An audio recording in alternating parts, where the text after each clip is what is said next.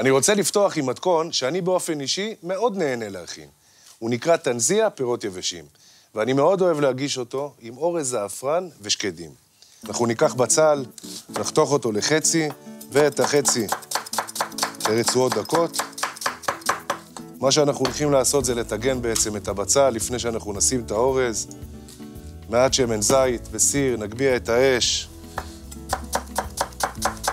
נחתוך את הבצל לרצועות, ונתחיל עם הטיגון של הבצל. אני רוצה שנעשה את שני המתכונים במקביל. חשוב מאוד, טיגון של בצל, לתת לו את הזמן שלו, יש טעמים בבצל שמגיעים לשיא שלהם רק כשהבצל הוא ממש ממש מקורמל, ואז הוא מפריש את המתיקות שלו. אנחנו נתחיל גם באותו זמן במקביל עם הטנזיה. יש לנו פה סיר של הטנזיה, ויש לנו מחבת לשקדים. שימו לב שגם את הבצל, הטנזיה, אני חותך בצורה של רצועות. אני משתמש בסכין חדה, נוחה לעבודה, זה מאוד חשוב שהסכין תהיה חדה. אוקיי, בצל אחד. נכנס פה גם לסיר של הטנזיה. אני משתמש בסירים מאבן שיש מיוחדת, ללא ציפוי. האוכל ממש לא נדבק, והחום, הוא שומר על חום אחיד כל הזמן. מילה אחת על, ה, על הזעפרן. זעפרן זה בעצם אה, התבלין הטהור של הכורכום. זה הבסיס, היסוד שלו, הפרח עצמו. מה שאנחנו עושים, אנחנו צריכים לא יותר מדי, שימו לב שלקחתי פה כמה שערות שייכנסו רק לאורז, ממש לא יותר מדי בכמות עדינה, ופותחים אותו במים חמים, ואנחנו ממשיכים. אז בטנזיה, זה, זה קודם כל זה מאכל שהוא מרוקאי, מאוד מרוקאי, מאוד אותנטי, מאוד עשיר. מה שאנחנו עושים זה בעצם משתמשים בכאלה דברים. יש לנו כאן שזיפים, יש לנו כאן פיסטוקים כלופים כמובן, יש לנו כאן שיני שום שאנחנו נזרוק אותם כבר עכשיו, חמש שיני שום בקליפתן, ונתחיל להוסיף דווקא באגוזים. אני משתמש בחומרי גלם איכותיים, במחירים נוחים. אני אעבור לשקדים, ואנחנו נשאיר חצי מה, מהכמות של השקדים לכלייה, שיהיה מעל האורז, וחצי לטנזיה. ונשים פיסטוקים כמובן. קודם כל נערבב את זה. אפשר לראות שהטיגון של כל הדברים עם הבצל, זה מה שהולך לתפוס לנו את כל הטעמים של הדבר המהמם הזה. הוא יהיה מאוד מאוד צבעוני, מאוד ססגוני. צימוקים כמובן.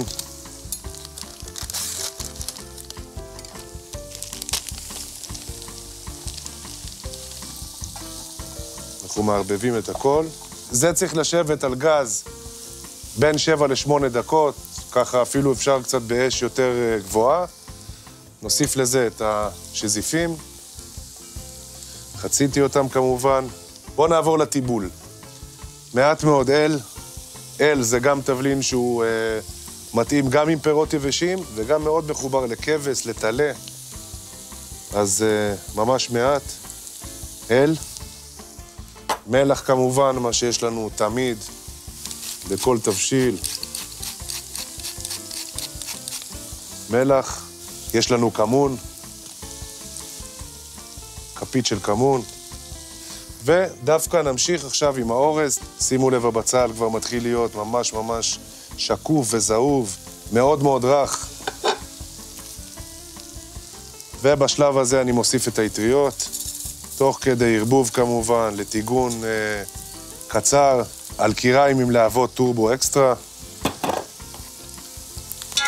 קיריים ממש יעילות. יש לנו פה פלפל גרוס, ניתן לכוון את רמת התחינה. נערבב. יופי. האטריות כמעט מוכנות. מה שאנחנו צריכים זה את המצרכים האחרונים, יש לנו מעט מאוד.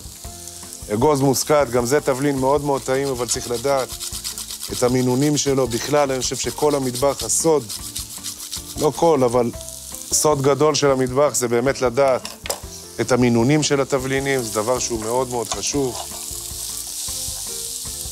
ועכשיו אנחנו מוסיפים יין אדום.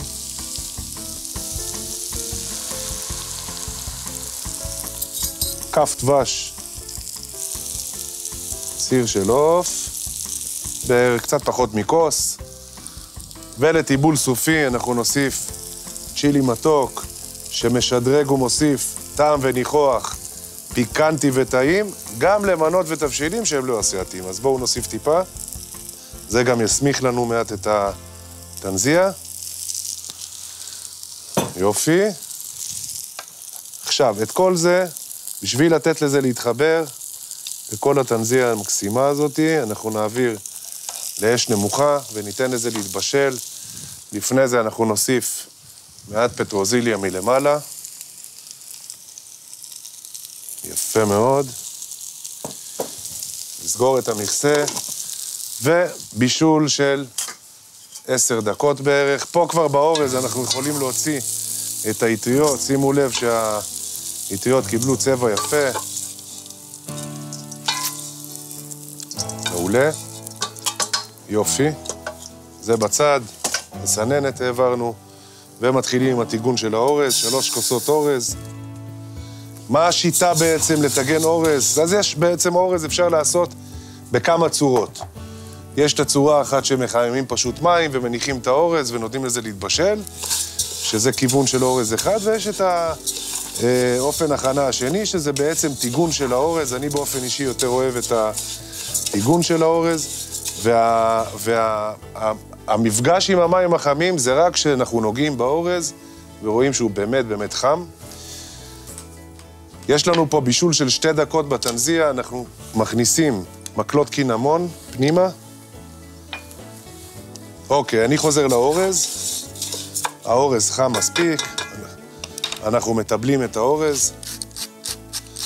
מלח, לשים כמות שהיא קצת יותר אה, מלח, מכיוון שאורז ממש שותה מלח.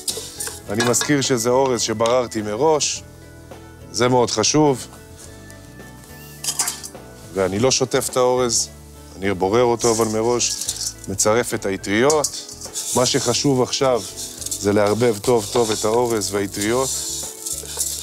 אפשר להוסיף תבלינים אם אתם רוצים, אבל אני חושב שהאורז שה... דווקא צריך להיות הדבר הניטרלי במנה. ויש לנו קודם כל את uh, שערות הזעפרן שאנחנו מוסיפים אותם עכשיו. בחרתי לשים פה בערך uh, ארבע או חמש שערות של זעפרן, מערבב היטב. ועכשיו אני אוסיף את המים החמים. כמובן שהמים צריכים להיות רותחים, ממש ממש חמים. אז על כל, כל כוס אורז אנחנו שמים כוס וחצי מים, ובסופו של תהליך אנחנו שמים ממש עוד טיפה, כי זה בעצם העדים שיוצאים ומתבזבזים מהמים. יופי. מוסיפים את המים לאורז, ערבוב אחד בלבד, ואנחנו מנמיכים את האש.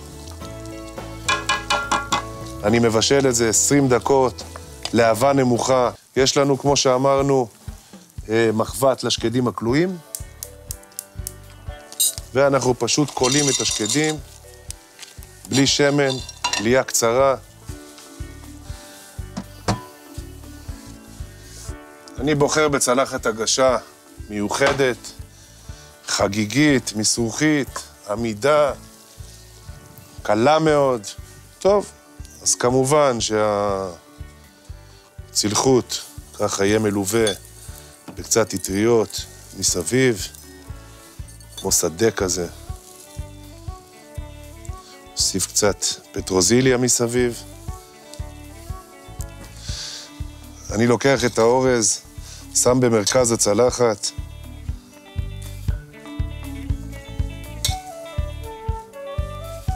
ניקח את הטנזיה,